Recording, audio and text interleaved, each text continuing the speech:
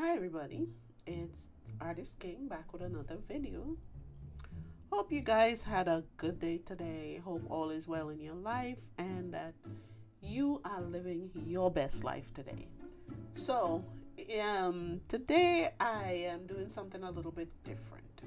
I decided that I've experimented with a lot of different things. So today, instead of using acrylic paint or my um, what do you call these things? My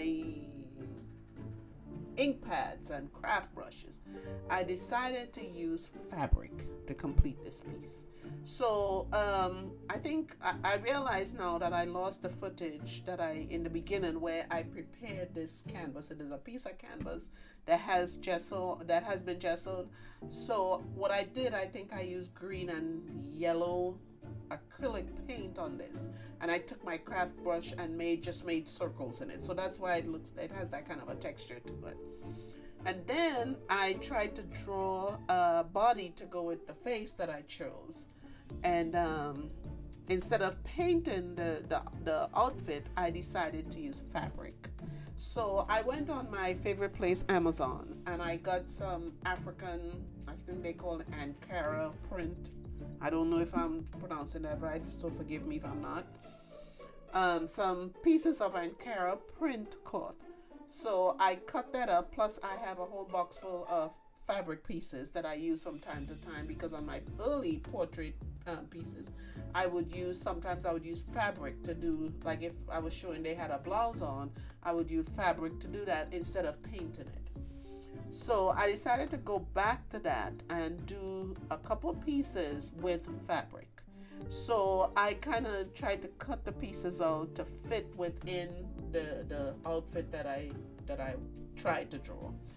So um, I'm not good at scaling stuff, like according to the size of the head, scale the body. I'm not really good at doing that. So that's why when you see the end product, it looks like she has a ginormous head on a small body. So don't don't look at that. Don't look at that. So um, I use bright colors because you know, guys, I'm from the Caribbean. I love bright colors. I mean, the brighter, the better. So I tried to use different bright colors here to bring it all together. So um, I hope that this will challenge you guys, somebody out there that it will challenge you to want to do something like this, to use fabric to create a piece of art. And, and I almost didn't post this because I, I felt it wasn't good enough, but then I said, no, I'm posting it because I might think it's not good, but somebody out there might enjoy watching it or might enjoy, might like the end product. So I'm not gonna say, you know, I'm not posting it because I work hard on this. So anyway, um, I just want to, you know, to invite you guys to like, to hit the like button because this helps to, you know, for more people to see the video. Hit the like button when you watch the video. Subscribe, um, share with someone if you care to, and you know, keep coming back. To all my subscribers, I appreciate you guys supporting this channel, and I invite you to come back, show it to your friends if they want to come too, I'm okay. I'm welcoming everybody. So, um, I'm going to let you watch the rest of this video without me talking. Saturdays and Tuesdays are the Tuesday two days that I um, put out new content.